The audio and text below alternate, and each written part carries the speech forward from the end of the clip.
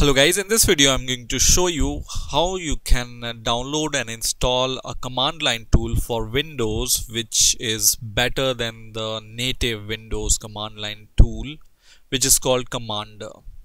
Now if you have uh, you know used command line tool on Windows ever it looks like this. So I am using Windows 8 and it looks like this and if you are a developer uh, or uh, if you want to use uh, command line uh, for your work then um, using this command line tool is not uh, you know satisfactory I would say.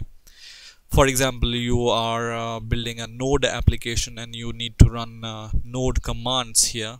And uh, this works fine but uh, for a developer they want more than this kind of boring command line tool now uh, you can say Windows 10 has already been there and their command line tool is little bit better but it's not so much uh, better that uh, we can love it for example. So let's see what command line tool I'm going to show you and let's see what's the difference between them. So what we are going to do is we are going to download and install a free command line tool which is called cmder and we say it commander tool. Okay? So just type, type cmder commander.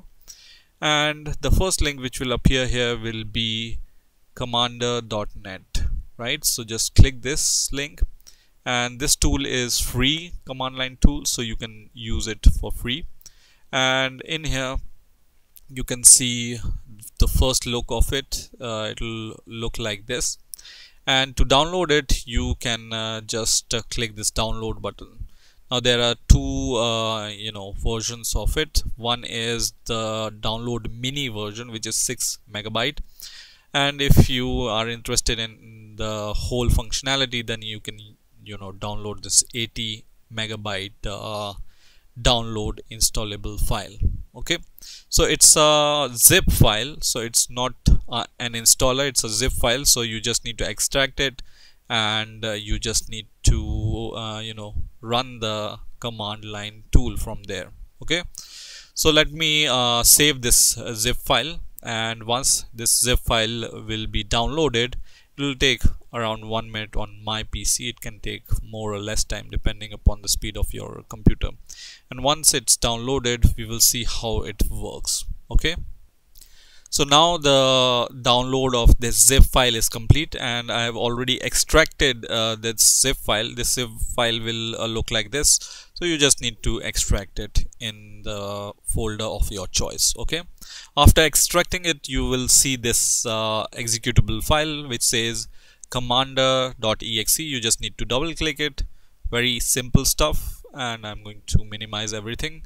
And by the meantime it will start. Okay? Now here uh, you can see unlock and continue command and visit home page and exit. And it says uh, that uh, some of the DLLs are missing. You uh, don't need to worry about them. You can just uh, say ignore and continue for now. Okay and then just uh, skip this version for now okay? And now it will open this command line tool. And you can see uh, when you uh, you know start this command line tool the difference between uh, these two command line tools right? So you know when uh, at the time when you open it it will look like this very sleek and uh, you know you will love it from the first step itself you can uh, you know follow or uh, execute any command which you can uh, run on uh, Windows and even which you can run on your uh, Linux or Unix uh, command line tool. For example ls minus l and list all the you know files and the permissions of your files and folders right or cd or mkdir or many command uh, line uh, uh, commands it can execute. And the best thing what I like about this command line tool is for example if you want to open two uh, command line uh, you know command line or command prompts what you need to do is you need to open the command prompt two uh, you know two terminals for two command line uh, you know commands if you want to uh, run in parallel right? For example in case of mongo you need to uh, run the mongo daemon in background and then you need to execute the mongo shell itself right? And in that case you need to open two terminals at the same time and it's not uh, I mean very elegant. In case of uh, Cmder what you need to do is you can just right click on this icon at the top and you can just say new console. It will give you this option. You can say start and it will start a new terminal. You can see side by side right? So you can navigate between them like this. You just need to press these uh, tabs and you can uh, open multiple terminals like this on Cmder. This is the feature which I like.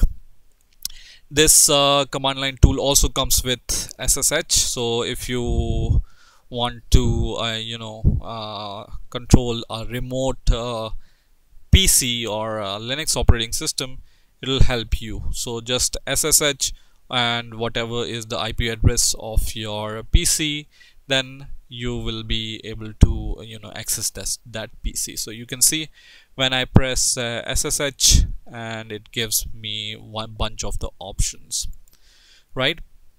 And uh, yeah so you can see you can uh, just use it and see if it's uh, good for you or you want to stick with the old command line tool.